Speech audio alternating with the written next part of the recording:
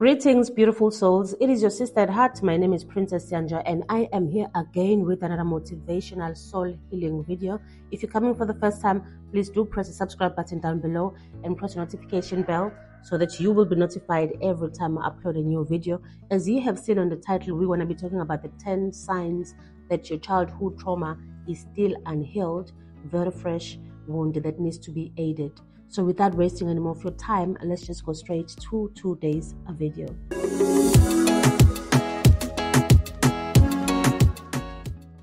If you're the type of a person who prefers to be alone than to be with other people, you identify as a loner.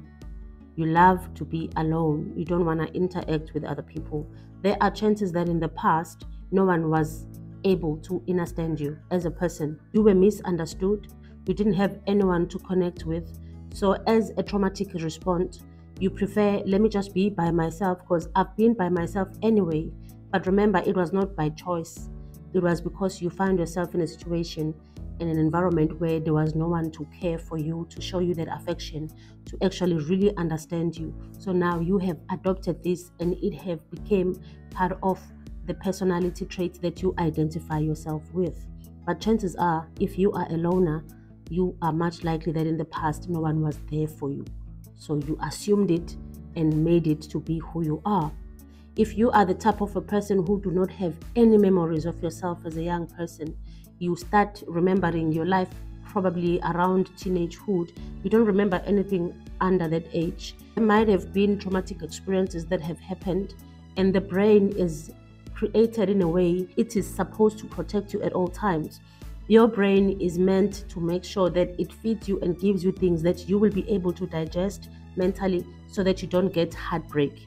So your your brain will purposefully erase some of the memories away from your mind, especially those that were traumatic and those that were much painful as a form of trying to protect you from heartbreak or from hurt. You might have childhood trauma that you went through that you need healing from that is the reason why you don't have any memory of yourself as a young person. And then there's also this particular thing that is done by particular people where you find that you are being complimented and a person who's complimenting you is really just being genuine and complimenting you on something that is truthful after observing you or after seeing you the way you, you, you, you do your thing or the way you embrace it or show whatever that they are complimenting from you. There are people who are unable to take compliments if you are one of those people where every time when you are being complimented, you act humble, you don't want to accept the compliment, you take it back, it's much likely that you were never around people who were kind. So when you are not used to kindness, when kindness comes to you, it is foreign. You don't know how to re- to react on kindness. You don't know how to respond when people are being kind to you. It's because of the traumatic experience that you might have went through of not having any person in your cycle who was kind to care for your well-being, for your mental state or your mental health, and just for your for your well-being in general. So now you tend to be somebody who is overly humble. Being overly humble also is not a good thing in this day and age where we live in the world where it's either you eat or you get eaten. There comes a point in time where you have to outgrow that behavior of being humble and really just ride on your strengths and really be proud of your little wins, no matter how big or small they are. And if you are the type of a person who always feel the need to apologize, you always feel the need to say sorry, to explain yourself to people, even sometimes before they even ask you to explain yourself, you always want to explain yourself there is a probability that you were a person who was accused a lot in the previous life or where you come from or in your childhood. You were much likely to be accused of things that you did not do. And you were always trying to fight your honor, to fight for your name, to fight for your innocence. And that is the reason why now you have turned into this person who constantly feel the need to apologize. Even when you are not wrong, sometimes you always feel the need to say you're sorry uh, you might be a type of a person who really don't like to interact with people especially when they are not in your instant space like for an example you don't you take long to respond to text you ignore phone calls and you have identified yourself as a person who's like oh me i don't pick calls i don't respond to text i was one of those people a couple of years ago and i took pride in that little did i know that it is also a traumatic response it's not really the person that I want to be or the person that I am. You are not allowing yourself to step out there because chances are something might have hurt you. It goes the same way with this particular behavior of hating calls and interacting with people because you feel this this uncertainty. You're not sure how they feel if what they're saying is true. You want validation and you need them to be closer to you so that you can validate if they are being sarcastic or they are being real. So you overanalyze text and calls you read the tone of the voice and you make it to be about yourself it's not always going to be about yourself. Sometimes the person's just having a horrible day. Sometimes somebody is just mean naturally. Sometimes this is how they speak. They sound like they are rude. So you are much likely to take other people's behaviors and make it about you and that is a problem you need to now be able to see which this is the behavior that I usually embody and it comes or it stems from a traumatic experience that you might have went through before that causes you to find it difficult to socialize. Some people were bullied, so when you were bullied and you grow up without healing that pain or that trauma, every time when you come across certain individuals who look similar to the people who might have bullied you, you will quickly pull back to your shell and then want to go back to your safe space and not socialize and not communicate with people and stay at your home for, for days and weeks sometimes without coming out and talking to nobody. It's a traumatic uh, response. We are supposed to be able to interact with people, and most people become okay with this. They be, they allow it to become part of who they are, part of their character, and they live by it without really realizing that it's not really because of being the best version of yourself. You are like this because someone robbed you of that particular ability to experience people without fear. So now that you're operating from the memory of how this person might have behaved under this particular setting, you choose to avoid the whole setting as a whole, robbing yourself amazing experiences of life that you might need in your life journey. When you are somebody who doesn't like to socialize, doesn't take calls and text.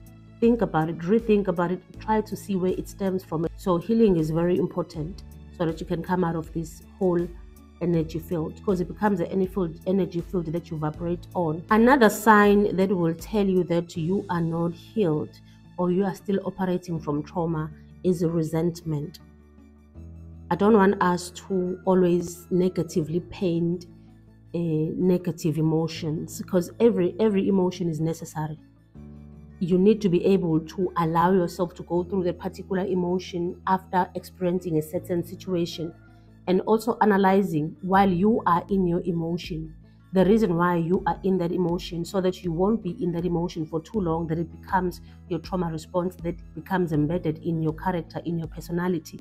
So when you have resentment it means you still have a memory of something that someone might have done or said or didn't do and they were supposed to do in your mind and you're going around with this memory in a negative manner and this resentment is triggered every time when you have to interact with this person, when you have to see this person, or when you have to come across something that resembles this person or reminds you of this person. So when you have resentment, it means you haven't allowed yourself to heal from what a person have done to you. You are holding them hostage in your mind and in your heart, but you have to pay the price, not them. So that's a traumatic uh, uh, that's a traumatic response to have resentment towards someone. When you resent someone, you do not want to see them even in your space. Sometimes they didn't do what you say they did on purpose, but you haven't found it in your mind to accept that it happened. Some of the things, when they have happened, there is no way of undoing them. So when you hold that grudge or when you have that resentment or heavy heart towards a certain person, it eats you more than it eats them because it's your heart that has to go through those low vibrational energies that you are putting it into. And they will also accumulate and become an entity of it, entity of its own that can also accumulate a space within you. And you'll find yourself constantly repeating the same cycles of the past just because you have resentment. But accepting that people are the way they are people did what they did, whether they did it knowingly or unknowingly. You have to come to a point where you know what you you you you forgive the past, not necessarily the person, because some people are just not built like that to forgive in that level. But forgive the past, forgive that it happened, accept the challenge, that it put you under and accept the lessons that it gave you because now you know better because you went through it first experience first hand experience so make sure that you don't stay in resentment for way too long until it, it, it comes to a point where it manifests itself into an entity that gets to drive you as a person. Because now it will change your whole character and will change everything about you and no one is having a life purpose that includes resentment in it. Resentment is going to delay you from your life purpose and your life path. If you are a person who still operates from anger, each and every person has a right to be angry when they are being provoked, when they are being belittled, when they are being used, when they are being harmed. You need to be angry. It's it's it's like a life emotion. It's it's necessary.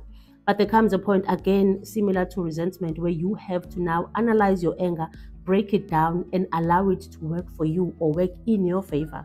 In this case, use the information that you now know about a particular individual, particular organization, or whatever that angered you, and allow it to make a lesson out of it so that you will do better next time, so that you will teach better next time, so that you can create something out of this whole anger that will be a solution so that it doesn't happen again. But whatever the case may be, you are presented situations and problems that cause you anger so that you so that you can benefit from the other side of those similar situations similar emotions similar happenings so it's all about being creative and really just taking life and having a different perspective of life every time when you going through something negative see how can you gain positively out of this whole situation. That's the creativity of life that will always leave you feeling like you're winning even in situations that you feel are unfortunate for you.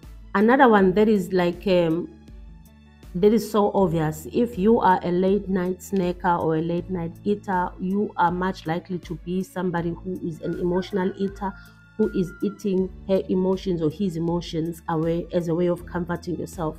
So when you have been in isolation for some time and you identify yourself like the point that we had on the first one where we say when you identify yourself as a loner when you identify yourself as these particular characters based on the traumatic experiences that you might have went through you are much likely to find something that is going to give you comfort that you forget a little bit about what is it that you're lacking or what is it that you went through or what is it that you wish you have but you don't have at this current moment. So you find yourself comforting comforting your emotions and your feelings by using food. And this is something that we see a lot in our societies where you find people will not speak about their pain, they will not go through the pain and feel the pain, but they'll just eat the pain away. And you see people who are like good hearted people, people who should be doing better things in their lives, they are just, you know, being average or they are just you know, belittling themselves because they're still stuck in a place where they were told that you will never be nothing or you will stay where you are forever. So, as a way of finding comfort, they find food as comfort. Some people they will find things that will get them into addiction, and you know that once you are addicted, that means that even your root chakra itself is is not balanced.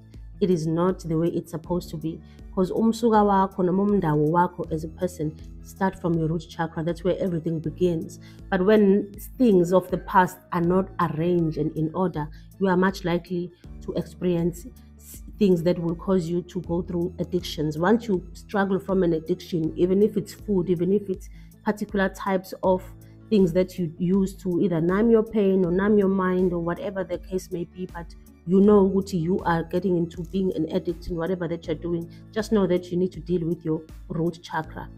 Dealing with your root chakra it needs you to associate yourself a lot with the color red meaning that you're to have to eat a lot of natural food that is red you have to now also imagine yourself wearing red. You have to do meditation. You have to do grounding and earthing and really just reconnect again so that you will have that foundation because without the foundation you will not be able to reach on your crown chakra, a crown chakra that will allow you to find problem solving, be creative, and really create things out of nothing for the benefit of everybody, including yourself.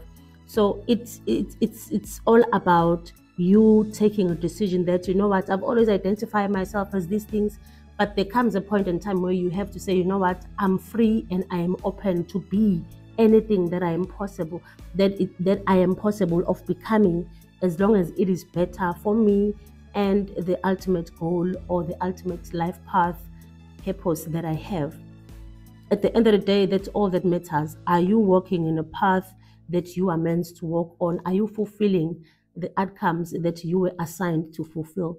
Are you making yourself happy in the process? Are you living something that's going to make them navigate through life better than you might have so that it is easier, easier for them than it was for you?